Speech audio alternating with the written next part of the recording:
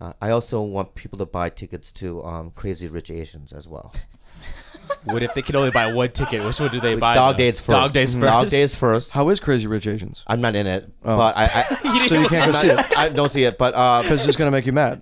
y- y- well, I know- want you to go to Dog Days just because you'll see my part and you'll be like, "Fucking Yeah, yeah, Tom, yeah. what's he doing?"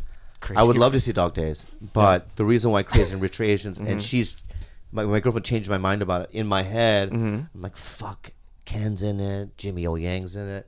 Really? People that all, all the people, Awkwafina. Aqua, yeah, they've all done our podcast. Yeah. Yeah, I know. Jimmy O Yang, Aqua, they've all done it. Right. And I love these kids. Yeah. They're beautiful kids. They're Yeah. very talented, right? Yeah. And but when I tried to read for it, they, they were like, nah, right? But you're also not Chinese. That's true. Is But either everybody, is Ken. is everybody in the movie Chinese? either is Ken Jeong. Uh, Ken is actually the only non-Chinese. Nico Santos, Filipino. Oh, he is. yes. So in your Now face, it's a baby. can of worms. God but then um, Khalyla goes, it's the first Asian comedy, uh, all cast Asian comedy that's American of its kind. It's a studio movie, and it's got to do well in the box office, and, and, and in turn, it'll help everyone. Yeah. uh, uh, what the, you know, there's a great expression that I like, which is a rising tide lifts all ships. Isn't that a great expression? Thomas There's no reason to cry. Dog days. I mean, that's a Yeah. I mean- Isn't that a great expression? I know.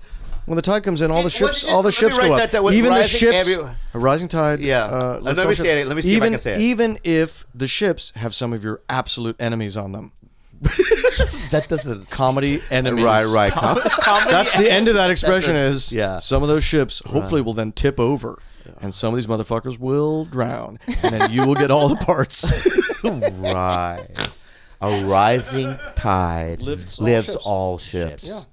I'm gonna. That's a great. You don't have to write it down. It's I'm it's I literally memorize- I think I memorized It's it. a super famous expression. I've never heard of it. Before. You've never heard You've of it? heard of it. He doesn't read much. I I've don't, never I don't that either. before. Somebody said it to me one time. That's a like, great. It's good. It is. Yeah. It's like, hey, something that's good for us is good for all of us. If So it's I was the only for us. one Yeah. in shock of that. You've heard it before. Be I've real. definitely heard that. Have you heard of it before? team, team sports, they say that a lot. How about you? Oh yeah. What you- Tiki torches, man. people. I mean, These Well then, tikis. well then, I don't. You know. I feel bad, ba- that now. I feel bad about it. But just recite it one more time. All right. A rising tide lifts all ships. Mm. Hmm? Feels good. Yeah. and then some of them tip over, and your enemies die. comedy and Yes. Mm-hmm. yes. that's right. That's the second part of it. Mm-hmm. Yeah. And some of your enemies just fall off the fucking They back. drown like babies. huh? don't they?